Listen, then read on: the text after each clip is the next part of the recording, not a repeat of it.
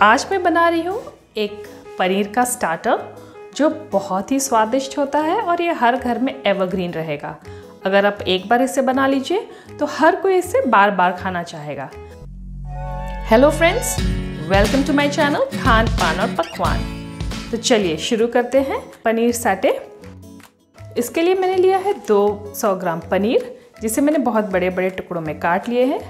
इसे डाल देते हैं एक बाउल में।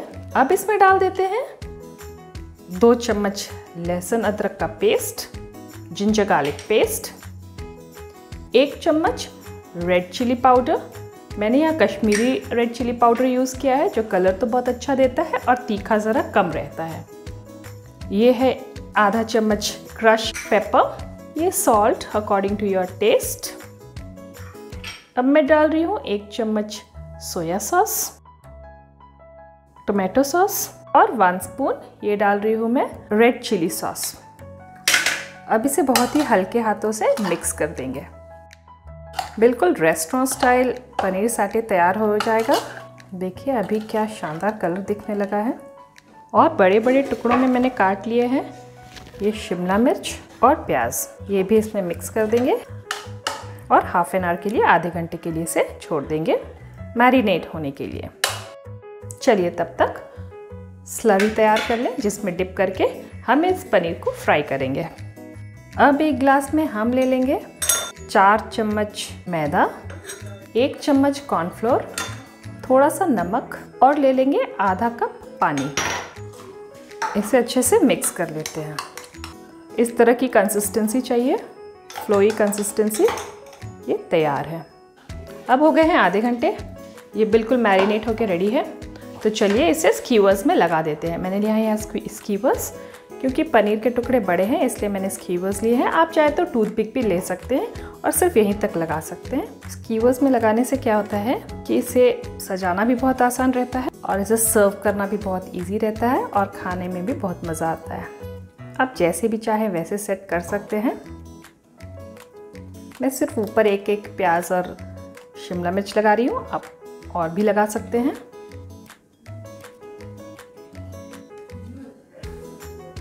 ये देखिए, ये बिल्कुल तैयार हो गया है। चलिए अब इसे फ्राई कर लेते हैं। ऑयल आप चाहे तो एक बड़ी से कढ़ाई में डालकर पनीर को डीप फ्राई भी कर सकते हैं। देखिए, ये है सेमी थिक स्लरी अब क्या करेंगे, एक बार चेक कर लेते हैं कि ये तेल गर्म है कि नहीं। इसमें डालते हैं और ये ऊपर आ गया। यानी कि तेल अब गर्म हो चुका है। इसमें हम आराम से फ्राई कर सकते हैं। अब एक एक पनीर को लेकर के इसमें डिप करेंगे। अच्छे से डिप करना है और इसे फ्राई करेंगे। यहाँ से रख देंगे।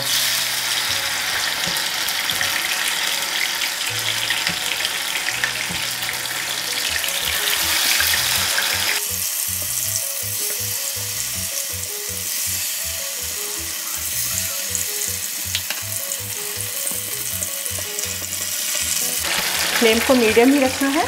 पनीर को बहुत ज़्यादा लाल नहीं करना है। हल्का सा ब्राउन होने तक इसे फ्राई करेंगे। सब तरफ़ से टर्न करके अच्छे से फ्राई कर लेंगे।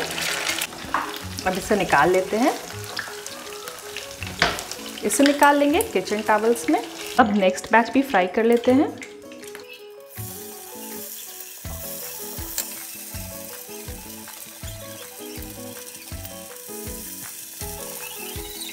अब उसी पैन में ऑयल कम कर देंगे और लहसुन डाल देंगे आठ दस लहसुन। असल में पनीर साटे जो होता है वो बहुत माइल्ड तीखा होता है, बहुत ज़्यादा तीखा नहीं होता। तो अगर आपको फिर भी अगर ज़्यादा तीखा पसंद हो तो आप इसमें हरी मिर्च भी डाल सकते हैं। अब डाल देते हैं एक बड़े साइज़ का चॉप किया हुआ ऑनियन इसे दो से तीन मिनट तक पकाते हैं। अब हो गए हैं दो मिनट दो से तीन मिनट देखिए प्याज कुछ इस तरह से भुन गया है। तो इसमें डाल देते हैं एक चम्मच सोया सॉस।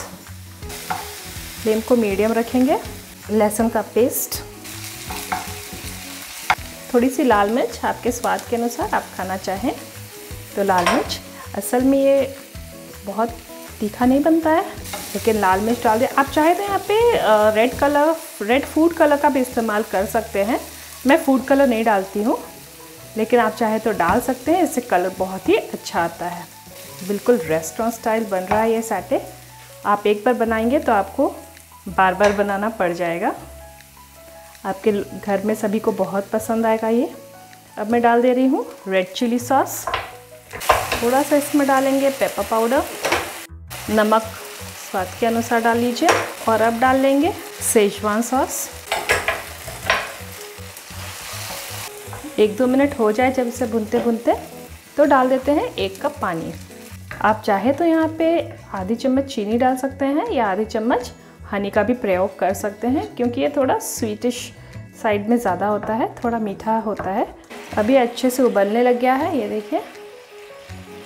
तो इसमें हम डाल देंगे, इसमें है कॉर्नफ्लोर दो चम्मच और पानी दो चम्मच। इसमें मैं डाल देती हूँ, ये स्लरी जो मैरिनेट किया था वो मसाला बच गया है, उसे भी इसी में डाल लेते हैं। हाँ ये हो गए अब चार पाँच मिनट। ये बिल्कुल गाढ़ी भी हो गई है ये ग्रेवी। अब इसमें एक एक करके ये पनीर डाल देते हैं, डिप कर देते हैं।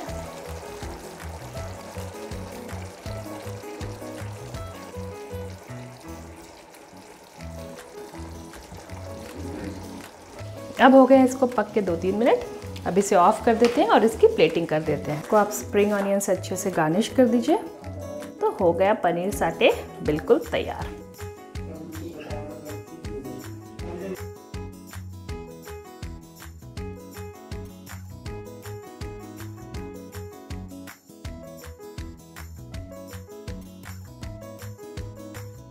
अब ये सॉस इस पर डाल दीजिए।